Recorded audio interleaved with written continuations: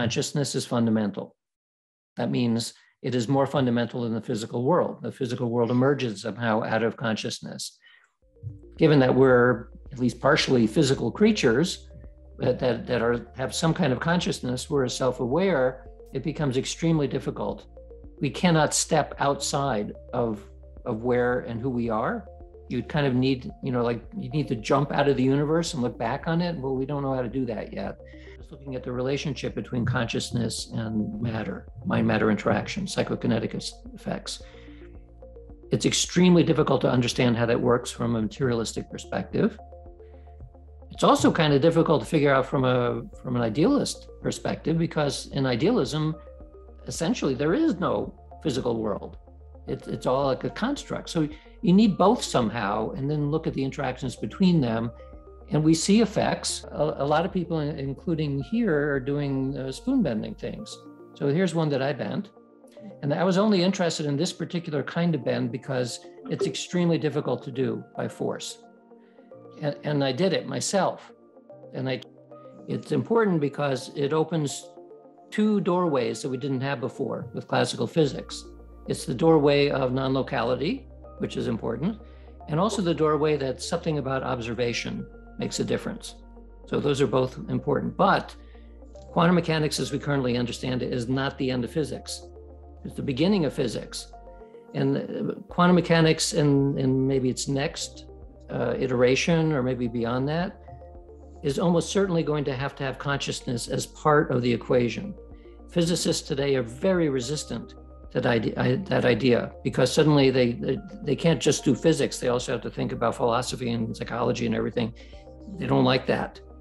But something like that is, is going to be necessary in order to make a big advancement in physics. And I know plenty of physicists who are working on this issue quietly.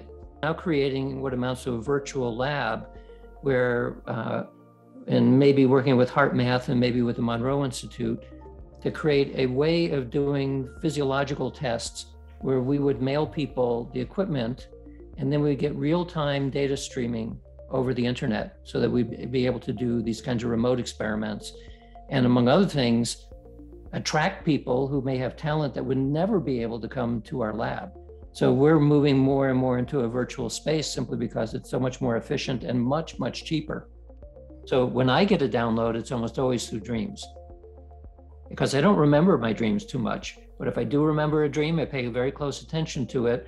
And if it's a dream if I'm working on a problem, I will oftentimes get what seems like a solution, or at least an answer, in the dream. And if I then actually act on it, and I'm, these are usually analytical things having to do with processing data, it's almost always right.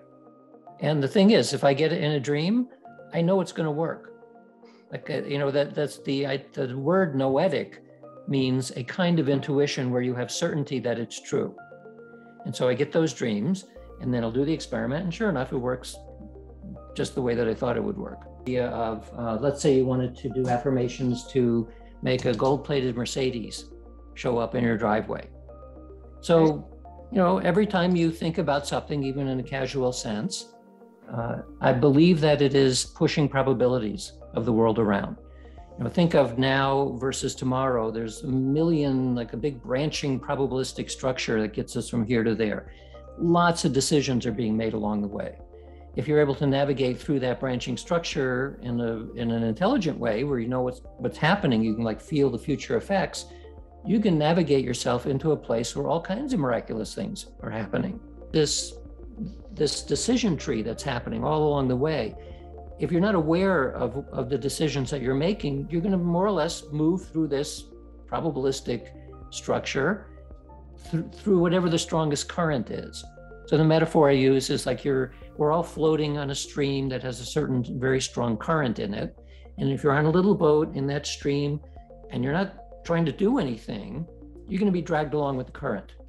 And the current happens to be going over a waterfall, you're going to go over a waterfall. If you're able to to think about this as more of a probabilistic state, then you have a little paddle in your boat and you can sense that you don't want to go over the waterfall over there, well, you start paddling and you can slowly pull yourself out of the mainstream, literally, and cause yourself to end up somewhere else Well, that requires a certain degree of awareness of where you are and where you're likely to end up. So I think what affirmations are doing is forcing you to pay attention to each decision along the way and steering yourself into the future that you actually want because it's not fixed. What, what this, well, you know, you, you probably could get a gold plated Mercedes, and sure enough, in the mail shows up this. This is a gold plated Mercedes. It's actually it's a little car that's a Mercedes. The, the doors open and the wheels turn and everything, and it's gold. Uh, and so she, I, I, wrote back and said, that, that this is a great thing. Thank you. And she said, well, it's just a, as an illustration that if you're not completely clear on what it is that you want, you can get a gold plated Mercedes, but that's not exactly what I had in mind.